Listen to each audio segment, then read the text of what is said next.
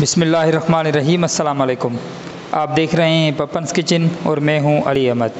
Viewers के हाल चाल हैं आपके? मैं उम्मीद करता हूँ कि आप बिल्कुल खैरियत से होंगे। और मेरी अल्लाह ताला से ये दुआ है कि आप जहाँ भी रहें, हमेशा खुश रहें, शाद रहें और आबाद रहें।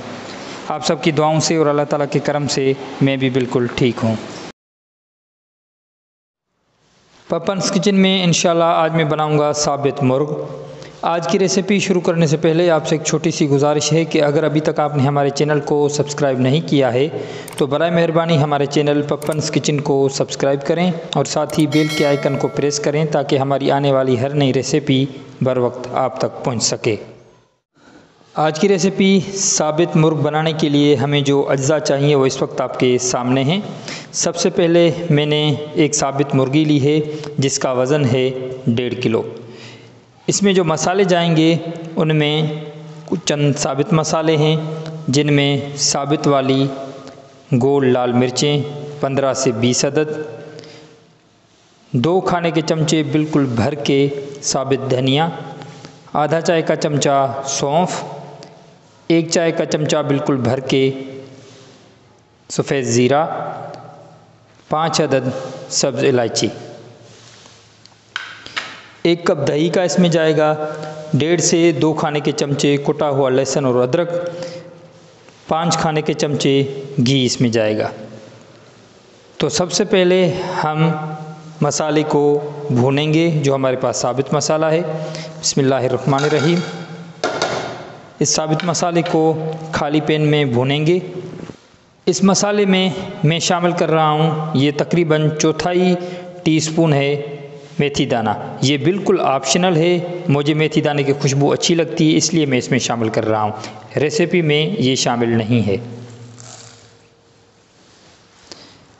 बसमीम अब स्लो आँच पे मसाले को भूनेंगे।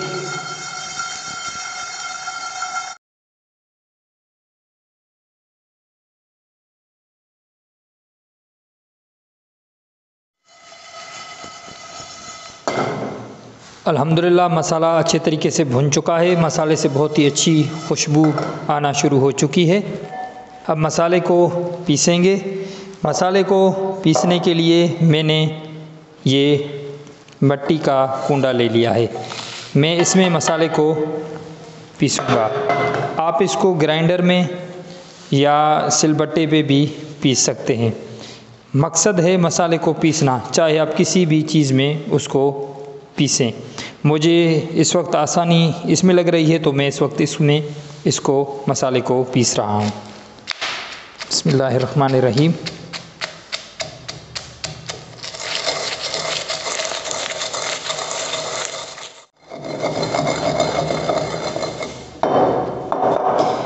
मैंने मसाले को दरदरा सा पीस लिया है।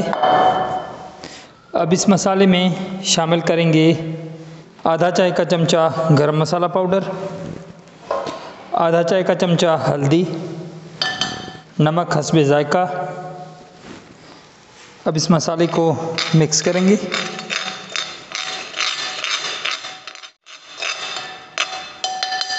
हमारा मसाला बिल्कुल तैयार है। अब चिकन को मेरीनेट करेंगे। चिकन मैं इस पतीले में बनाऊँगा और इसलिए मैं इसी पतीले में चिकन को मेरीनेट करूँगा। चिकन मैंने लिया है एक साबित और चिकन का वज़न है डेढ़ किलो। चिकन को अच्छे तरीके से साफ़ करने के बाद मैंने चिकन को इस तरह से कट लगा लिए हैं। ये आप देख सकते हैं गहरे गहरे कट मैंने चिकन को छुरी की मदद से लगा लिए हैं।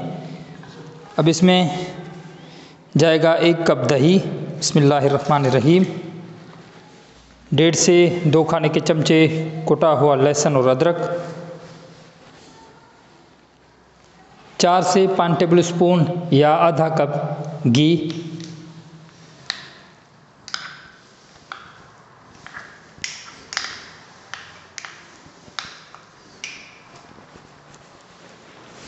अब इसमें जाएगा ये मसाला।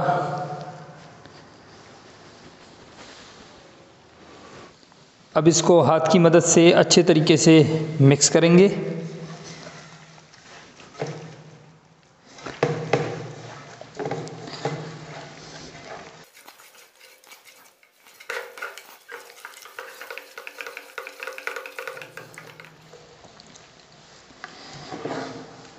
मसाले को अच्छे तरीके से पूरे चिकन पे लगा देंगे।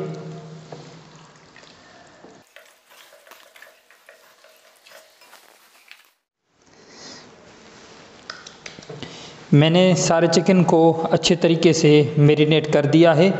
अब इसको पूरी रात के लिए या कम से कम छः घंटे के लिए रख देंगे और उसके बाद इसका आगे का प्रोसेस शुरू करेंगे।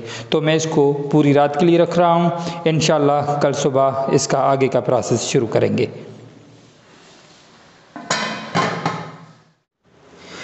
कल शाम को मैंने मुर्गी को मेरीनेट करके रखा था। तो अल्हम्दुलिल्लाह, पूरी रात गुज़र चुकी है और मुर्गी बहुत अच्छी तरीके से मेरीनेट हो चुकी है। तो इस वक्त हम मुर्गी को पकाना स्टार्ट करते हैं। तो इस वक्त हम चंद और मसाले इसमें शामिल करेंगे। एक छोटी प्याज बारीक कटी हुई, दो अदद टमाटर बारीक कटे हुए और तकरीबन दो अदद हरी मिर्चें फ्लेवर के लिए वो भी बारीक कटी हुई। ये मसाला सिर्फ़ हम इसलिए इसमें शामिल कर रहे हैं ताकि थोड़ी ग्रेवी बने जो खाने में मज़ा दे। अगर आप चाहें तो आप इसमें ये भले शामिल ना करें।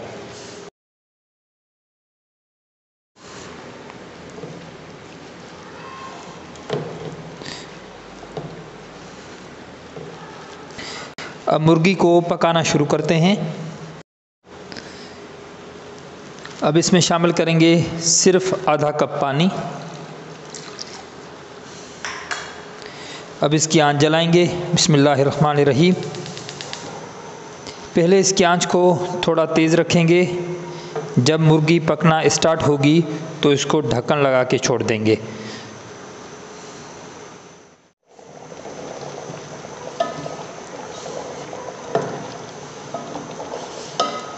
मुर्गी पकना स्टार्ट हो चुकी है तो इस वक्त इसका ढक्कन लगा देंगे और आँच को बिल्कुल स्लो कर देंगे ताकि स्लो आँच पे मुर्गी अच्छे तरीके से पके और इसको तकरीबन एक घंटे के लिए छोड़ देंगे। मुर्गी को दम पे रखे हुए आधा घंटा हो चुका है। अब इसकी साइड चेंज करेंगे।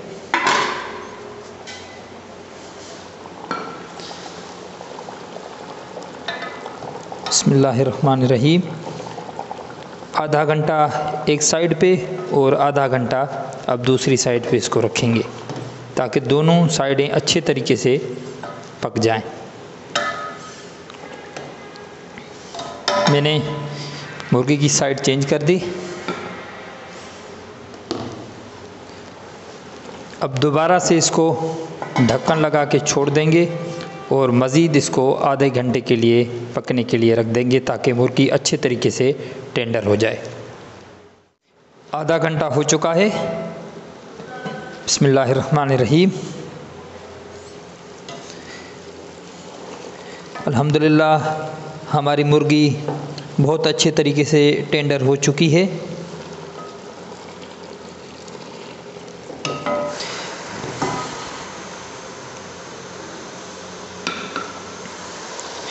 अल्हम्दुलिल्लाह, मुर्गी बिल्कुल तैयार है। अब इसको बाहर निकालेंगे। बसमीम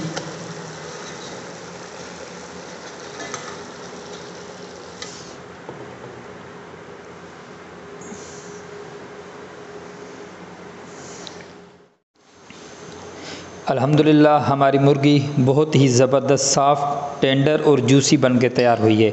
अब इसको ज़्यादा मज़ेदार बनाने के लिए आयल में फ्राई करेंगे। तो आयल हमारा गर्म हो चुका है। अब इस आयल में हम मुर्गी को फ्राई करेंगे। बसमीम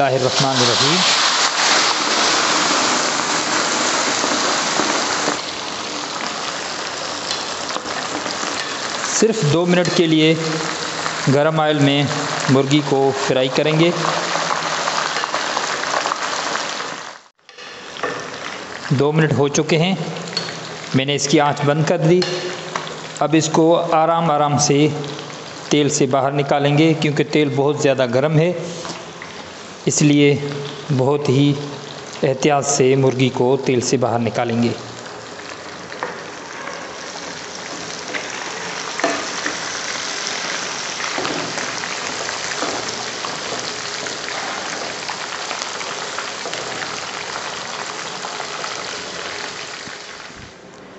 अल्हम्दुलिल्लाह पपन्स किचन में आज मैंने बनाया है साबित मुर्ग। आप ये रेसिपी ज़रूर ट्राई कीजिएगा और इसको एंजॉय कीजिएगा और हमें अपनी दुआओं में ज़रूर याद रखिएगा। मिलते हैं किसी और वीडियो में, किसी नई रेसिपी के साथ। तब तक हमें इजाज़त दीजिए। अल्लाह हाफिज़। Thank you for watching